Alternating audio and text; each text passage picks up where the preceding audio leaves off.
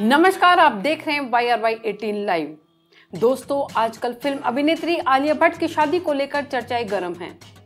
Media में कयास लगाए जा रहे हैं कि दीपिका पादुकोण के बाद आलिया और रणवीर भी शादी करने वाले हैं। खुद आलिया ने कहा भी है कि शादी का मतलब ये नहीं कि आपकी ज़िंदगी खत्म हो गई और आप अभिनय नहीं कर पाएँगी। हालाँकि आलिया ने अभी अपनी और रणवीर की शादी के बारे में कुछ नहीं बोला है। वे इस रिलेशनशिप पर हमेशा खामोश ही रही हैं। महेश भट्ट और सोनी राजदान की बिटिया आलिया खुद को आदि जर्मन और आदि भारतीय बताती हैं। आदि जर्मन बताने के बारे में उन्होंने मीडिया को जानकारी दी है कि उनकी नानी के पिता जर्मन थे और हिटलर के खिलाफ थे। हिटलर के खिलाफ निकलने वाले एक अखबार में वे काम करते थे। हिटलर ने उन्हें पकड़ लिया था और एक यातना शिविर में रखा था।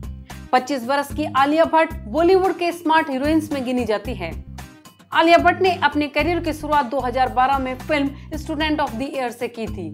इसके पहले वे चाइल्ड एक्ट्रेस के तौर पर प्रीति जिंटा और अक्षय कुमार के साथ फ़िल्म संघर्ष में काम कर चुकी थी।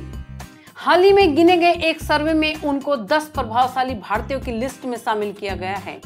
वे इस लिस्ट में शामिल होने वाली सबसे कम उम्र की भारतीय है। यू गव इन्फ्लुएंसर इंडेक्स 2018 की एक रिसर्च के आधार पर यह लिस्ट बनाई गई है। यह लिस्ट जागरूकता, पसंद, भरोसे और किसी एक क्षेत्र में किसी के प्रभाव के आधार पर की जाती है। लिस्ट में आलिया नोवे पायदान पर है। अमिताभ बच्चन नंबर वन तो दीपिका पादुकोण दूसरे नंबर पर हैं। इस लिस्ट में महेंद्र सिंह धोनी, सचिन तेंदुलकर, अक्षय कुमार, विराट कोहली, आमिर खान, शाहरुख खान और प्रियंका चोपड़ा ने जगह पाई है।